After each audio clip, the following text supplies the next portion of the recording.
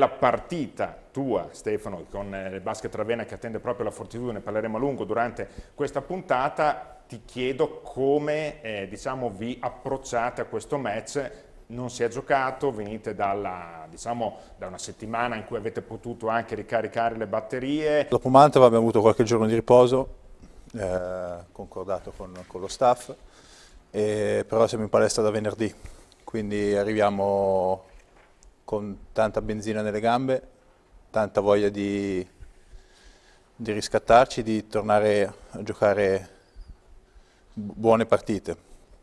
Eh, Domenica sarà una battaglia, loro vengono da, da finale di Coppa Italia persa e dall'ultima con Monterenaro persa, quindi vogliono vincere. Noi abbiamo rabbia perché per noi queste ultime sette partite sono sette finali.